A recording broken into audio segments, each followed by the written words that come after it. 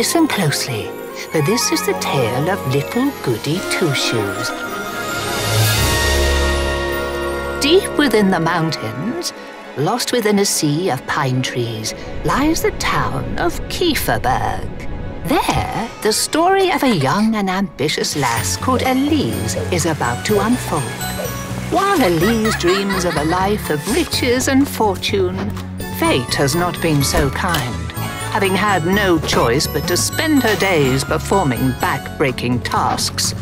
That is until one day, Elise discovers a beautiful pair of ruby red shoes buried deep in her backyard, sewn from the finest materials.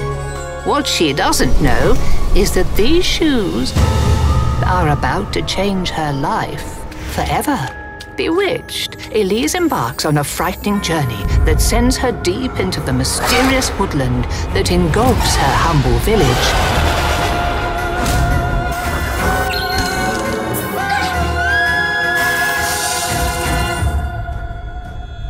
Will you be able to uncover the woodland's darkest secrets?